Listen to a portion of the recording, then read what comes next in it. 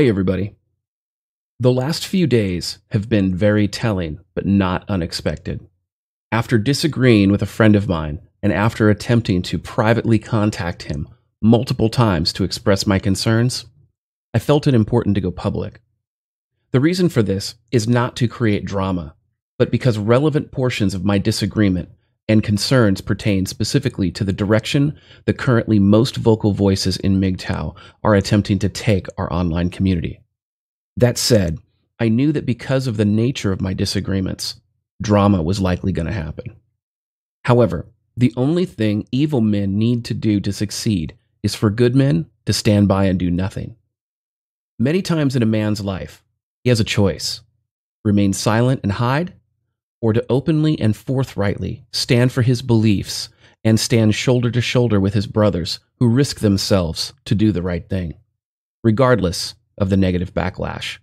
And I can say this from personal experience. When it comes to addressing these kinds of concerns, even if I am the only one to do so, I never stand alone for long. Because red pilled men of courage and conscience always come out of the woodwork to stand with me as their brother. As you'll see shortly, the same is true today. What many, including cosplay MGTOW, don't understand is that as a red pill man who is internally validated, external validation, while I appreciate it, I certainly don't require it. Now, before we get started, I hope MGTOW and other red pill men will watch closely what happened to me in this circumstance and use my conduct as a template of how to respond to lies, astroturf brigades, and cuck army assaults on red pill men from all walks of life. Because the same tactics being used against me have been used against men by feminists in family court for decades, and in concept are defeated in the same manner that I'm responding to this Spurg disinfo campaign. So don't think of this experience as a drama, but rather think of it as a clinic of how to respond and effectively stand alone against unethical conduct and hashtag MeToo bigotry and learn from it. Because all men are attacked at some point in their life, and they either give in and get slaughtered, or they oppose the bigotry and they move on in their life, stronger for the experience. Adversity always culls the weak and cultivates the strong. I also want to make another thing abundantly clear. I oppose incels. The only reason I oppose incels is because of their blue pilled gynocentric focus. As incels embrace the red pill teachings of MGTOW and assimilate into the MGTOW community, they're no longer incels. They're red pill men creating a better life for themselves, free from female validation. However, many of the current batch of incel migrants to the MGTOW community refuse to assimilate. They're like radical jihadis who refuse to assimilate into Western culture, and they want to bring their backward, third world extremism and bigotry to MGTOW. Make no mistake, they want MGTOW to adopt their blue pill ideology rather than join the community and create better lives for themselves, free from female validation. Further, these blue pill ideologies have no place in MGTOW communities. Notice how only a single MGTOW content creator is telling men to take women's rights away. Other than he and his fecal bullshido acolytes, to my knowledge, no one else is promoting this. I have never seen Sandman promote it. I have never seen Huemen promote it. I have never seen Stardusk promote it. I have never seen Sunrise Hoodie promote it. I have never seen Barbarossa promote it. I have never seen Paul Proteus promote it. I have never seen Marcus promote it. None of the most credible MGTOW voices who speak on MGTOW core principles promote taking women's rights away. Rather, they promote men walking away from women and living a life free from female validation. This is the exact opposite of taking women's rights away. Even those who promote this deeply flawed and dysfunctional concept admit it's not MGTOW. Yet it's on their channels. It's the core concept they advocate. They even speak out of both sides of their mouth. On one hand, it's the fool's errand of repealing the 19th, a flawed MRA styled concept that will never be successful. On the other hand, it's incel jihad, which is even more dysfunctional for reasons that should be obvious at face value. So, how did the lower primate fecal Bushido cuck squad respond to me publicly speaking out in opposition to their blue pilled fool's errand? Well, they read, of course. If you've watched my last video, they even outrage mobbed my sponsor, the Dollhouse, like SJW cucks. They lied to him, they threatened to boycott his business, and they forced him to cancel my sponsorship. This is some blue pilled cuckoldry, but it's not unexpected. They even astroturfed my channel. If you look at this first slide, you'll see that this is my last five videos since I brought this up. Now, on the lower right hand side, you can see that the AstroTurf downvote campaign downvoted me to 1200 to 938. The next video was 400 likes or almost 500 likes to 1300 dislikes. And the same is true all the way up the line for these five videos. Now, you would think that after all this pressure, that I would be losing subs left and right. This screenshot was taken last night from my channel, okay? In the last 28 days, I've had almost 1,400 new subscribers. So, what does this prove? Well, it irrefutably demonstrates that the majority of attacks on my channel, these videos specifically, were from people and their sock puppets who were not my subscribers or my viewers. Yet they're all like, oh, I don't like it. I'm unsubscribing. Or they just spout some other vitriol, right? Well, this proves that the negativity surrounding my channel is also nothing but an AstroTurf campaign, an attack to hide the verifiable truths within these videos and to foment misinformation and protect flawed ideologies. Now, I don't want you to take my word for this alone. If you've watched my first video on this issue, Necessary Medicine is a bitter pill to swallow. You'll know what my concerns are exactly. I outline them clearly. Don't take anyone else's word for what I say. Listen to me say it yourself. Don't listen and believe. Trust, but verify. Then go to the next part of this video because you see in the next three screens, two are from MGTOW, one is from an anti MGTOW. They made these comments after watching my videos for themselves. Listen to their words, look at the evidence, and judge for yourself. Here's the first one. This is from mad scientist Kaizen, otherwise known as Kaizen Tetra on YouTube. Now, he's been a part of many TFM 420 shows as part of the roundtable. I've done many live streams with this guy. Really great guy. He says, DDJ, you know, after remotely and politely discussing TFM's potential issues as being a doll owner, his chemical love bond, and the altering of his judgment, and TFM's following reeing session, that's his 55 minute video, which makes no sense from someone who is all about internal validation that he, she, Zer is not going to listen to you. Your words fall on deaf ears. It's sad to see how far TFM will go to defend Cat and Broccoli in all of this, but how he is willing to throw Plumber and you under the bus. Now, this is from a long term TFM fan. I used to be a TFM fan back in his first year or so. Then I was a Patreon member with access to the patron pit on his Discord. I only hung out a couple times. Once was with Plumber and Monk and a few guys way late at night talking about forming a MGTOW nation. It was a good time. Those guys seemed really solid. This was close to a year ago. Then some chick drama started and I had to bounce. I haven't watched TFM since. I went back to TFM's channel after watching DDJ's video the other day, and I gotta say, TFM has indeed changed despite his claims otherwise. The hubris is obvious to someone who went a year without exposure to his content. You can even see it in his new imagery. The chimp on the throne with a cigar, collared shirt, tie, rings on every finger. Even look on the face, coupled with the tone and inflection you can hear in his voice, indicate a man who imagines himself Grand simian on high, and it's really heartbreaking to see. TFM used to be a voice I respected. I don't know much of this recent drama. I'm speaking only as a former fan for years since long before Stardusk's video that spoke of the fecal flinging simian. This isn't the first time MGTOW have turned on their own. If I had to guess, I'd say the joyride is almost over. Nobody wants drama. We all went MGTOW to get away from drama. I don't know what the deal is, but this shit has got to stop one way or another. If, If it's true that TFM's community has been infected, then quarantine is the only answer. Now, this is the third slide, and this is from an anti MGTOW who criticizes many in the MGTOW community. Just to let all the idiots know, the most popular person in the argument usually isn't the one that's correct. Turd eating monkey may be popular for all the wrong reasons, and I know for a fact that he's not in the right in this drama. Now, if you've seen my comments section, you'll know that there's a theme in almost every comment that disagrees with me. They are all ad hom attacks, they are all character assassination attacks, and the majority of these comments criticizing me never actually address any of the issues I bring up.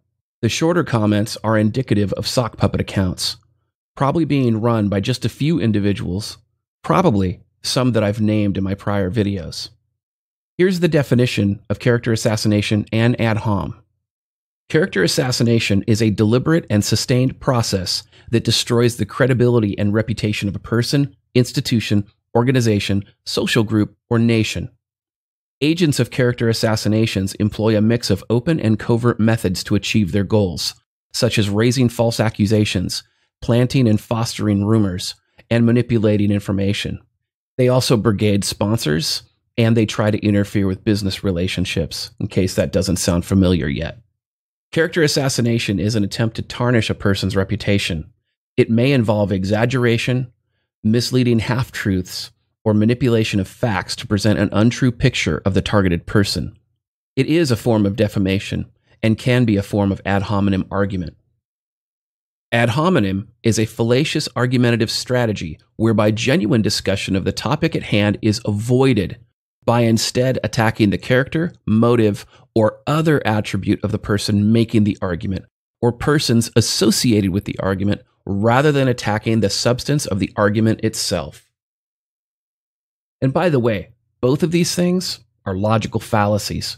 Now, it's time to switch gears to a different yet extremely relevant subject outrage mobs in general. This is a recent article from American Greatness Attack of the Techno Lynch Mob the Covington lie offered the perfect occasion for the electronic mob to pounce after temporarily licking its wounds following the BuzzFeed fake news hysteria, and it did so without shame or even much regret after the fact. The entire psychodrama boiled down to not what the facts on the ground showed, but rather what each party was perceived innately to be. They were mostly male, they were pro life and anti abortion, some were wearing red Trump MAGA hats. Added up, and they were fat targets from central casting. On the other side, the stereotypes were even more striking. Nathan Phillips was a Native American.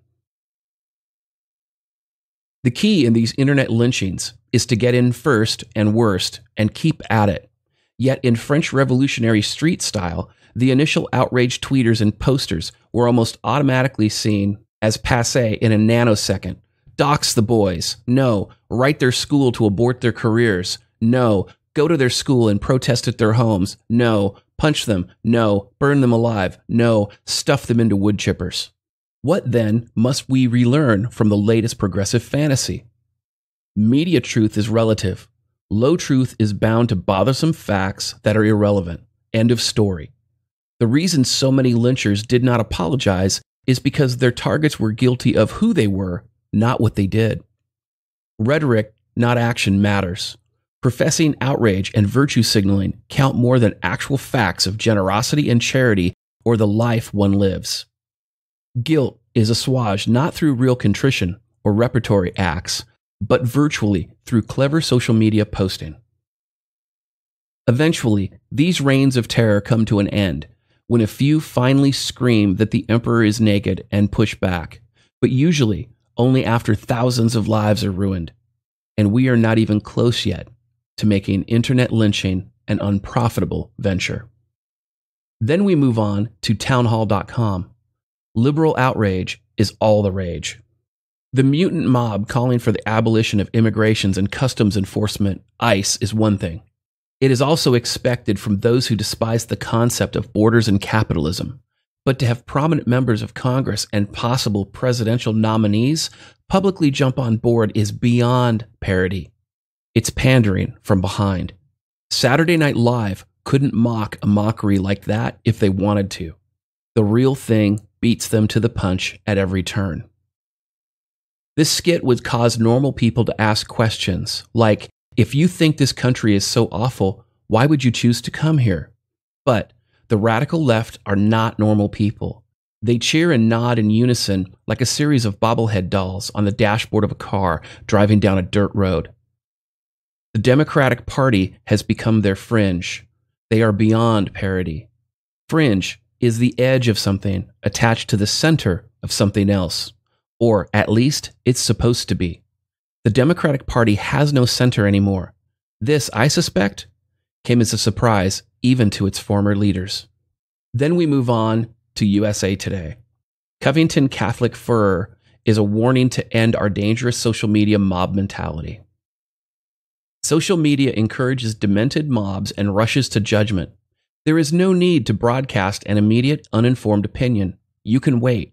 We all can.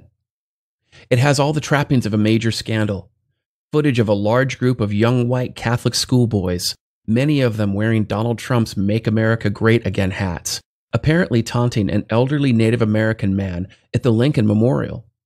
The young men appeared to be bullying, intimidating, and ridiculing the older gentleman, with one boy standing several inches from his face and smirking, while numerous others hollered and hooted around him. It was, on its face, a disgraceful display of nastiness, the sort of thing that would quite reasonably make anyone enraged. But it wasn't that simple. The full footage of the event is confusing and, for the most part, appears to exonerate the boys. Details come fast these days. Why not wait? Our social media dystopia has come to an end.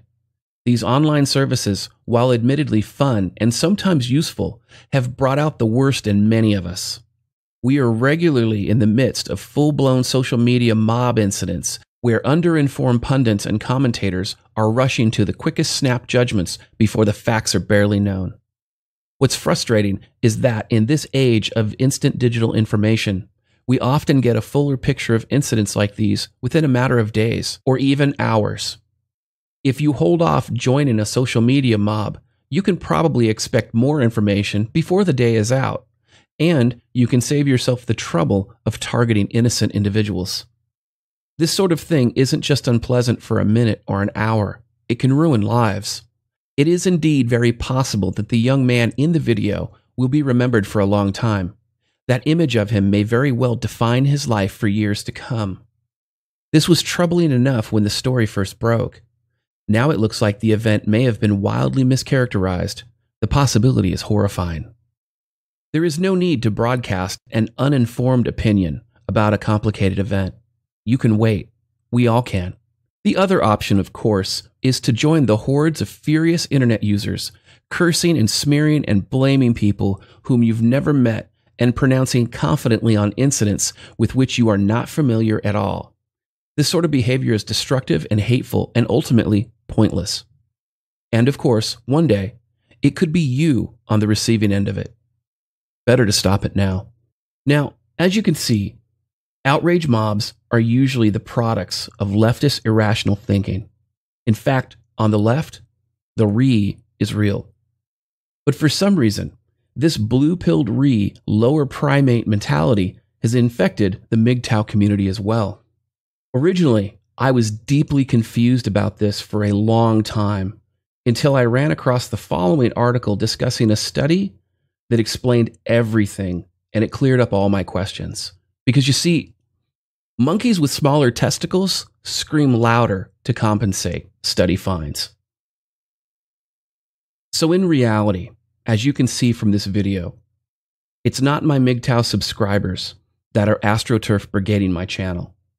It's tiny, bald, blue pill lower primates that are reeing as loud as they can that are attempting to throw turds all over my verifiable facts in hopes of covering up the brutal truth regarding their indefensible gynocentric fantasy of taking women's rights away and my other concerns about my friend's mental health. If incel refugees want to migrate to MGTOW and shed their blue pilled ignorance for red pill truths, I welcome you with open arms. But those incel refugees who refuse to assimilate, those who are instead trying to turn MGTOW into Incel 2.0 Revenge of the Cucks? Go back to your ignorant third world shithole. There is no sanctuary for your blue pill bigotry here. I'm DDJ, and this is your dose of misandry today.